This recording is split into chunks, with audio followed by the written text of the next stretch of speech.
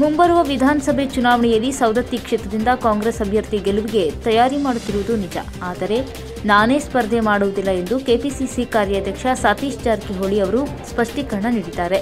ಈ ಕುರಿತು ಪ್ರಕಟಣೆಯಲ್ಲಿ ತಿಳಿಸಿದ ಅವರು, ಶನಿವಾರ ಸವದತ್ತಿ ತಾಲೂಕಿನ ಮುನವಳ್ಳಿ ಗ್ರಾಮದಲ್ಲಿ ಮಾಧ್ಯಮಕ್ಕೆ ಹೇಳಿಕೆ ನೀಡಿದ್ದು, ನಾನೇ ಸವದತ್ತಿ ಕ್ಷೇತ್ರದಿಂದ ಸ್ಪರ್ಧೆ ಮಾಡುತ್ತೇನೆ ಎಂದು ಹೇಳಿಲ್ಲ. ಆದರೆ ಕೆಲ ಮಾಧ್ಯಮಗಳಲ್ಲಿ ನಾನೇ ಸ್ಪರ್ಧೆ ಮಾಡುತ್ತೇನೆ ಎಂದು ಸುದ್ದಿ ಪ್ರಕಟವಾಗಿದ್ದು, ಇದು ಸತ್ಯಕ್ಕೆ ದೂರವಾಗಿದೆ ಎಂದು ಪ್ರಕಟಣೆಯಲ್ಲಿ ತಿಳಿಸಿದ್ದಾರೆ.